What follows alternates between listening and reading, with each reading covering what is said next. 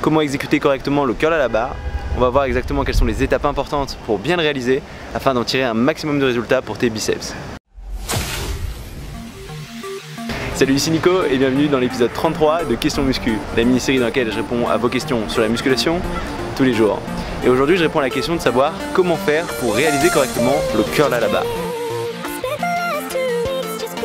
Le curl à la barre, c'est l'exercice fondamental pour réussir à travailler tes biceps c'est un exercice qui va travailler tout l'ensemble des faisceaux de ton biceps. À la fois la portion longue sur l'extérieur de ton biceps, la portion courte sur l'intérieur, mais aussi le brachialis qui est un muscle qui passe sous ces deux faisceaux qui va donner pas mal d'épaisseur à ton bras.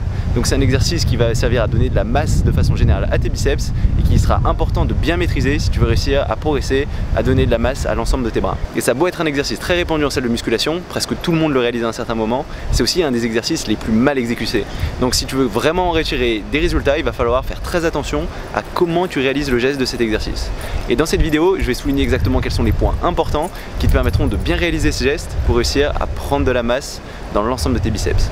Donc déjà, mon premier conseil pour réaliser correctement ce curl à la barre, c'est de commencer en mettant pas trop de poids. Parce que si tu mets trop de poids, tu vas être obligé de tricher dès le début, tu vas pas avoir un bon geste, tu vas pas bien isoler tes biceps et tu n'arriveras pas à les travailler efficacement.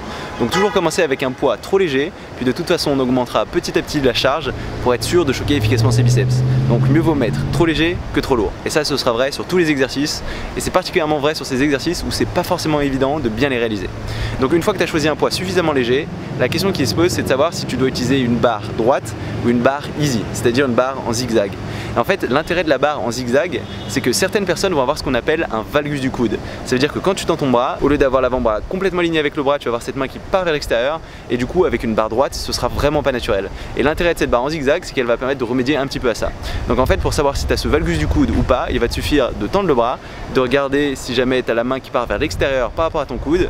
Si c'est un petit peu le cas, a priori, tu pourras quand même utiliser une barre droite. Si c'est vraiment le cas, il faudra utiliser une barre en zigzag. Et si vraiment tu vois qu'il y a un gros décalage entre ton coude et ta main, et eh ben, il faudra peut-être que tu utilises uniquement des haltères. Mais de façon générale, à peu près tout le monde peut s'entraîner avec une barre EZ. Et moi, la plupart du temps, c'est ce que je fais, même si j'arrive à peu près à m'en sortir avec une barre droite. Une fois que tu as choisi cette barre, attrape-la avec un écartement légèrement plus large que la largeur des épaules. Et en fait, plus tu auras tendance à prendre une prise large, plus tu auras tendance à recruter l'intérieur de ton biceps, donc la portion courte, plutôt que l'extérieur de tes biceps, la portion longue. Donc si tu as tes bras le plus parallèle possible, tu vas plus travailler tout l'ensemble de tes biceps. Si tu as tes mains les plus vers l'extérieur possible, tu vas plus isoler la partie intérieure de tes biceps. Donc de façon générale, ce que je te conseille de faire, c'est d'avoir un écartement des mains un petit peu plus large que les épaules, pas tellement plus.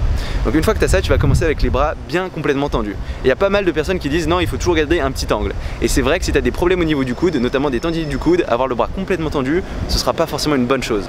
Par contre, si tu contrôles bien le geste, si tu t'es bien échauffé avant et que si tu n'as pas a priori de problème particulier au niveau de ce coude, tu peux te permettre d'avoir le bras complètement tendu. Même ça te permettra d'être sûr de travailler ce biceps sur toute sa longueur, de l'étirer bien complètement, de contracter bien complètement. Et la qualité de l'étirement et de la contraction, c'est vraiment important pour réussir à donner du muscle. Donc de façon générale, si tu n'as pas de problème au coude, ce que je te conseille de faire après être bien échauffé, c'est de commencer avec les bras complètement tendus, de presque pouvoir contracter ton biceps quand tu es en bas du geste. À partir de là, ce que tu vas faire, c'est remonter les avant-bras. Et ce qui est vraiment important à ce moment-là, c'est de surtout pas avancer les coudes. Normalement, tes bras, ils doivent rester fixes le long du corps. Ils doivent rester perpendiculaires au sol. Tu dois avoir ton épaule et ton coude qui doivent rester fixes et seulement ton avant-bras qui fait une rotation vers le haut. Donc tu dois avoir juste un mouvement des mains, un mouvement de l'avant-bras, pas du reste du corps. Parce que souvent ce qu'on observe c'est des gens qui vont avancer les coudes, du coup tirer sur les épaules plutôt qu'avec les biceps. Tu vas avoir moins d'amplitude sur laquelle va travailler le biceps, ce sera moins efficace pour choquer ce biceps. Une autre erreur assez classique, c'est aussi des personnes qui vont utiliser le bas du dos pour tricher, qui vont donner des à-coups avec leur lombaire. Et là encore, c'est pas tes biceps qui vont travailler, ça va être surtout tes lombaires. Donc c'est pas vraiment ce qu'on veut. Et de façon générale, on va essayer d'éviter ça. Et après, comme on va le voir dans le reste de cette vidéo, il y a quelques petites exceptions. On va se permettre de tricher un petit peu en fin de séance ou quand on met vraiment lourd. Mais c'est un cas un peu particulier et pour commencer, il vaut mieux que une exécution parfaite. Donc si jamais c'est trop dur pour toi et que tu as tendance à utiliser à la fois ses épaules et ce bas du dos, ça veut dire probablement qu'il faut que tu diminues ton poids. Donc n'hésite pas à mettre trop léger, je t'assure, tu peux pas mettre trop léger, tu peux mettre trop lourd et puis si tu mets trop léger, tu pourras toujours rajouter des répétitions ou augmenter le poids derrière, c'est pas un problème. Donc sur cette phase de remontée, en gardant toujours ce torse et ses bras fixes le long du corps, on va essayer d'être relativement explosif, de remonter avec une contraction assez forte. Et normalement la barre elle doit arriver jusqu'au milieu de tes pecs, peut-être un petit peu vers le haut, mais pas trop non plus parce que si ta barre elle arrive au niveau du coude, c'est probablement que tu avancé les coudes en avant et c'est pas une bonne chose.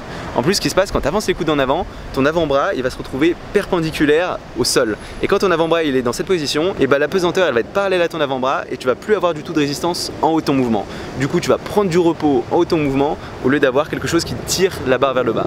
Nous on veut pas ça parce que si tu donnes du repos au moment de la contraction complète où normalement ton biceps il doit travailler au maximum, tu vas perdre en efficacité dans cet exercice. Donc ce qu'on veut c'est bien avoir ses coudes en arrière et normalement quand tu es tout en haut du geste, tu dois pas avoir un moment de repos, ça doit être même un des moments les plus durs du geste.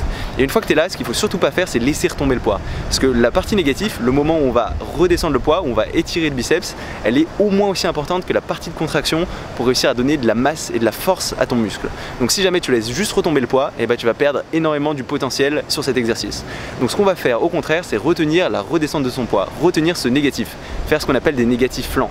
Et tu vas accompagner cette barre bien jusqu'en bas en mettant peut-être deux fois plus de temps que sur la phase de remontée et tu verras c'est très riche en sensations, c'est très intense, mais c'est parce que ça travaille dur et que c'est très efficace. Et là ce qu'il faut encore bien que tu fasses, c'est garder tes épaules fixes, tes coudes fixes, que tu redescendes bien jusqu'en bas avec les coudes complètement tendus. Sauf encore une fois, si tu as des problèmes de tendinite au coude, auquel cas il vaut mieux garder un petit angle. Et ça c'est ce qui va correspondre au geste à peu près parfait sur ce curl à la. On veut une remontée relativement explosive, on va avoir que les avant-bras en mouvement, on va être en contraction complète, que ce soit bien dur en haut du mouvement, même on peut marquer une petite pause tout en haut de ce mouvement pour bien sentir cette contraction et bien contrôler ce négatif. Normalement ça doit vraiment brûler, tu dois vraiment sentir tes biceps jusqu'en bas. Et comme je te l'ai dit, de façon générale, on essaiera toujours d'être dans ce cas de figure, on peut faire une exécution parfaite. Et du coup, si jamais tu sens que tu as besoin de tricher, c'est juste que tu es arrivé à un seuil où tu peux plus faire de répétitions supplémentaires, tu arrives près de l'échec musculaire. Donc le mieux c'est tout simplement que tu t'arrêtes. Après, ce qui va arriver à partir d'un certain moment, c'est si tu veux vraiment prendre de la force, si tu mets vraiment lourd, et eh ben on va se permettre de tricher un petit peu un moment. Et l'idée, ça va être pas de tricher dès le départ, mais vraiment de rajouter un petit peu de triche, d'avancer un petit peu ses coudes, avancer un petit peu ses épaules, peut-être donner un petit coup de bassin, tirer un petit peu avec les lombaires, mais juste pour donner le petit surplus qui te manque pour compléter le mouvement. Et ce que ça va faire, c'est qu'au lieu de s'arrêter d'un seul coup, quand on peut plus faire correctement de répétition, on va se permettre d'aller un petit peu plus loin, de pousser un petit peu plus le muscle dans ses retranchements et de mieux le stimuler. Et ça, on va pas s'en servir à chaque séance, mais si jamais toutes tes séances d'avant, tu as toujours fait ça très proprement et que tu commences un petit peu à stagner, ça peut être intéressant d'entrer dans ces formats où on va mettre trop lourd pour avoir une exécution parfaite, mais où on va vraiment choquer le muscle, où on va vraiment le pousser dans ses derniers retranchements. Et rien que le fait que ce soit un petit peu nouveau d'utiliser ces formats avec un peu de triche, en soi, cette nouveauté, ça va aider à relancer ta progression. Donc ce que je veux que tu comprennes, c'est que de façon générale, on vise toujours une exécution parfaite. Mais quand on arrive à un certain niveau et qu'on veut continuer à progresser, on se permettra de tricher un petit peu plus si on veut choquer encore un petit peu plus ce muscle. Et voilà, ça va être tout pour ce curl à la barre. Il s'agit vraiment d'un exercice de base que je te conseille de faire vraiment au début de tes séances, quand tu es encore frais et que tu peux mettre relativement lourd pour travailler tout l'ensemble de ses biceps. Et c'est un geste quasi incontournable, mais encore une fois, pas si évident, souvent mal exécuté, donc je te conseille de bien revoir cette vidéo, bien regarder chaque phase du mouvement et de bien vérifier que tu as cette exécution parfaite. Et voilà, ça va être tout pour cette vidéo. Si jamais ça t'a plu, n'hésite pas à mettre un petit pouce bleu. Tu peux aussi t'inscrire à ma chaîne YouTube si tu l'as pas encore fait, comme ça tu sauras quand je sors de nouvelles vidéos. J'en sors tous les jours. Et du coup, on se retrouve demain pour une nouvelle vidéo. Salut